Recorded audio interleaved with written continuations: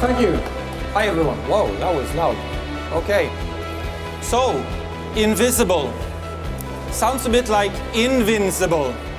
But let's talk about invisible. I would like to invite you to a story, a story about passion, a story about creativity, of finding the perfect solutions. It's a story of actually doing what some people say is impossible, is turning the visible invisible.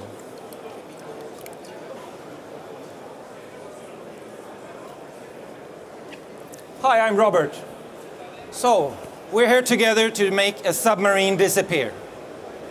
It all begins with 62 meters something long, 7 meters wide, and about 2,000 tons of steel. It's a submarine, so the obvious thing is to hide visually. Dive, then you're done. Fait accompli. Not really. People looking for submarines are very persistent. They stay for days looking for you. So you need to stay below the surface for weeks. That's okay, because then you bring out your air-independent systems that you have had operational for over 20 years. That was a no-brainer. That was easy. Now we can stay down for weeks. Next thing, people actually listen for you. You have to stay very quiet. Okay. The sea and the water in the sea is the perfect conduit for sound.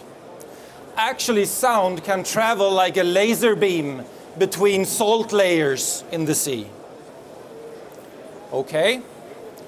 How do we keep 30 hardworking people over 100 systems and the combined computer power of an underground command and control center quiet.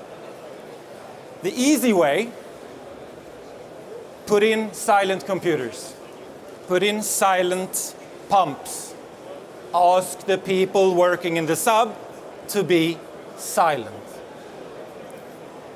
Where's the elegance in that? Where's the search for perfection in a solution like that? I ask of you to imagine that you're on a train station. When you're on a train station, you can actually hear the train long before you see the train. Where do you hear the train? From the tracks. Sound travels very fast in steel as in water. So here you have the train running on the tracks with its steel wheels transmitting the sound into the track. Picture that steel wheel replace it with a rubber wheel. Silent.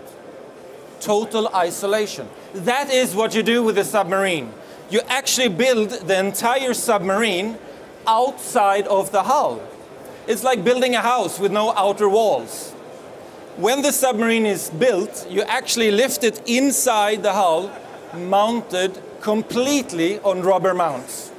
Total isolation, the rubber wheel. Okay, so now we have a submarine that can be below the surface for weeks. We have total isolation. It is very quiet. Are we done?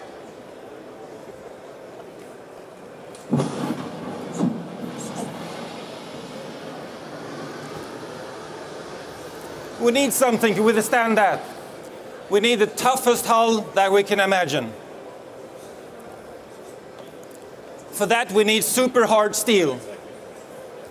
And steel, left untreated, a compass, a red submarine. you have to treat the submarine because it affects the Earth's magnetic fields.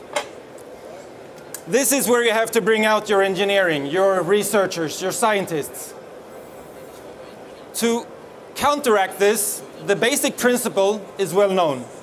You basically put an electromagnet inside the hull, counteracting the effects of the hull. But it's not that easy.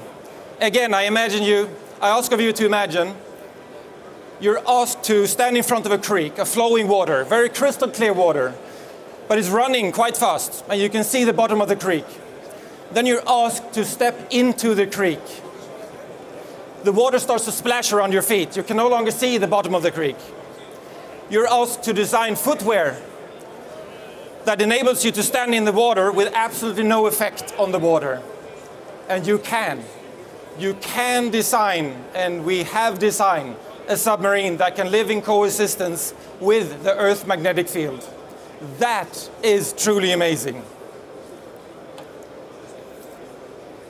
But we're not done. There are several other signature management aspects of a submarine to disappear.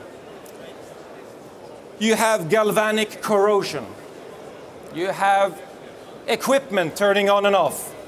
You even have swirls from the propeller.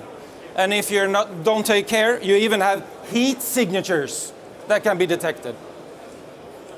There are even signature management techniques that are so secret we can't even talk about them here today.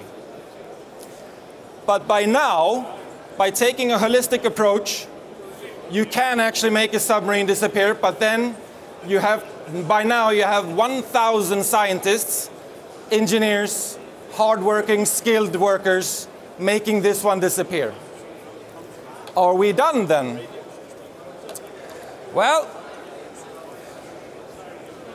people starts to look for you. As I said, water, uh, sound travels very fast in water. And if you eject sound, the echo will go back and might reveal where you are. This is where you pull out all the stops. You start to cooperate with dolphins. The dolphins are the kings of interpreting the echo of something. They generate sound and they get back the echo to determine fish, friend, foe, object. If you with your team, together with the dolphins, can create a fish, a 62 meter long fish, that the dolphins have hard time detecting, then you're approaching the ultimate design of not only being invisible, but also undetectable.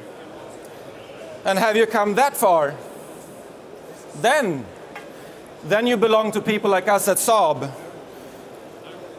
You can see the invisible and thereby enabling creating what people think is impossible.